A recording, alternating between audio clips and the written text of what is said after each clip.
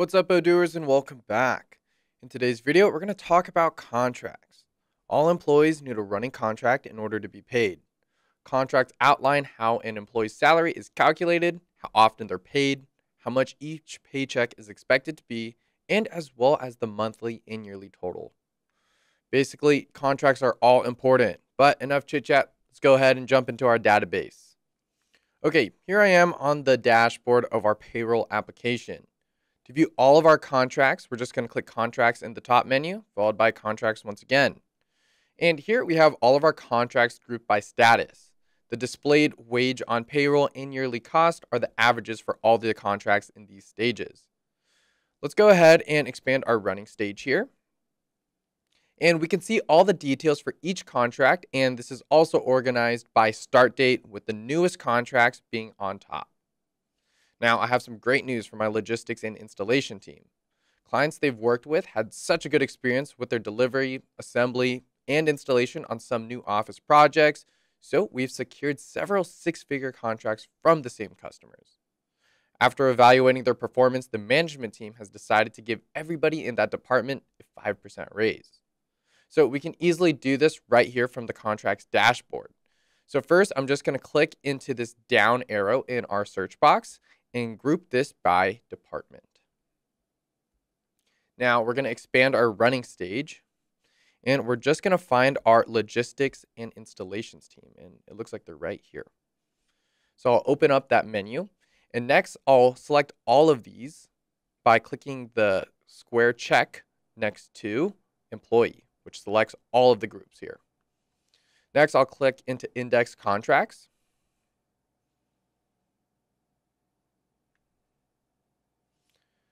And since I have all my employees selected, they're going to appear here in the contracts field. So in this percentage field, I'm going to change this from 0 to 5.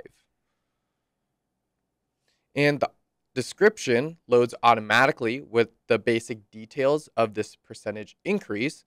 But let's go ahead and add some more information. And we're going to put for amazing performance. That looks good, so I'm going to click confirm.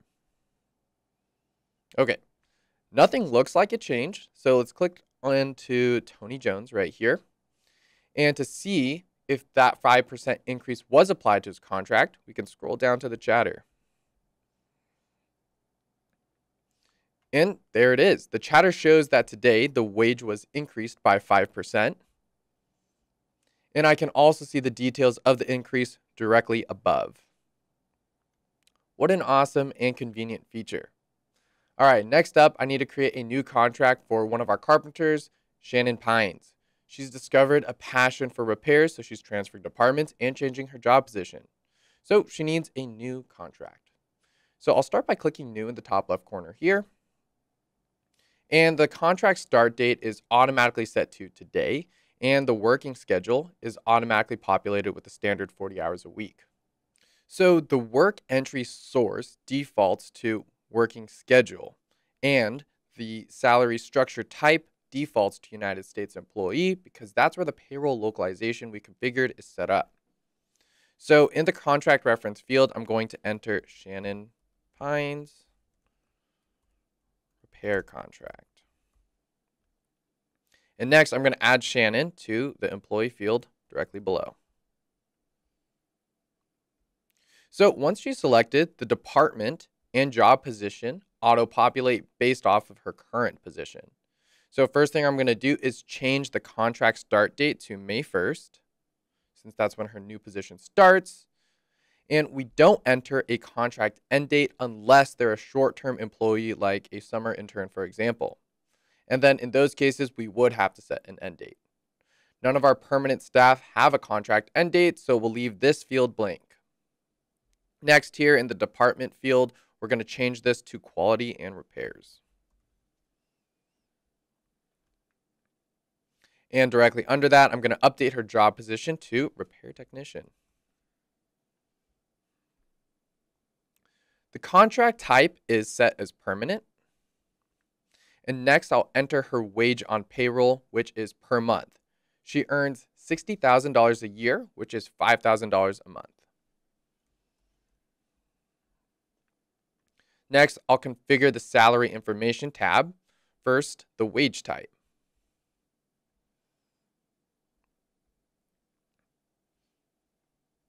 We're going to keep the wage type field at fixed wage because she's not an hourly employee.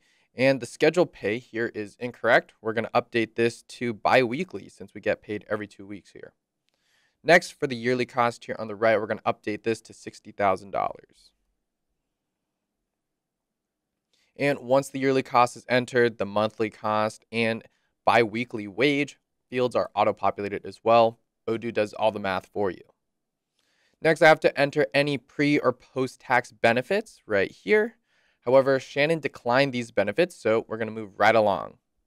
Moving back up here in the Details tab, I can see that we are using the default Stealthy Wood employee contract. If this was an intern, for example, we could use the intern contract template instead. Okay, last we have our signatories tab right here, and this shows me everybody who needs to sign this contract. In this case, it's the employee, which is Shannon, and then the HR responsible, which is me. All right, this looks great, so I'll manually save this. And then we'll click on this generate offer button to send this all off to Shannon.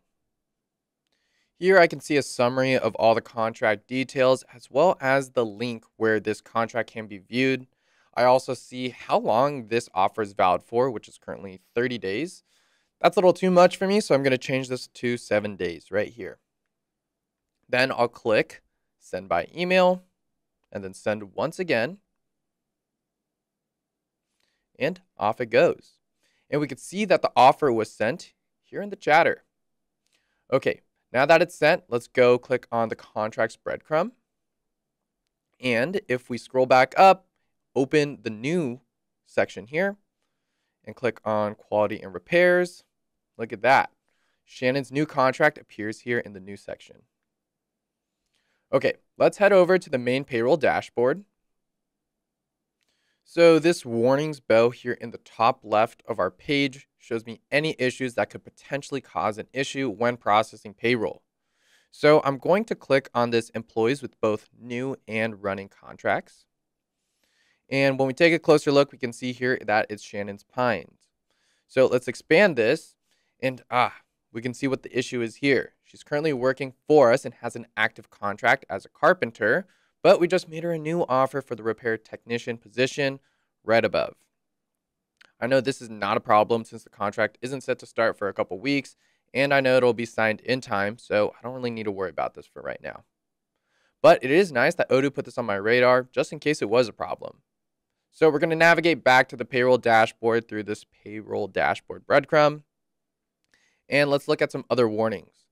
This time I'm going to click on the two new contracts warning. Shannon, as we know, is okay, like I just said.